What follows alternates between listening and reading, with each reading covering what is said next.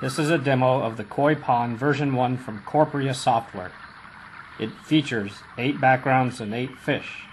You can create waves by touching the screen like this.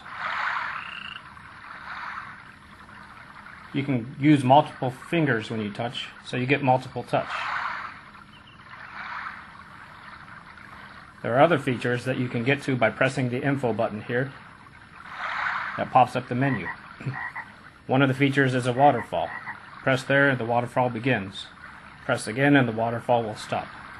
Another feature is to show ads while the water continues to flow. Another feature is run under lock, which allows you to play music while the phone runs under a locked state.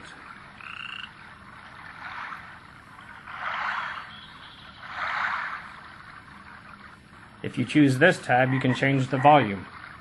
There's a slider that allows you to go from 0, no sound, all the way up to 10, which is full sound.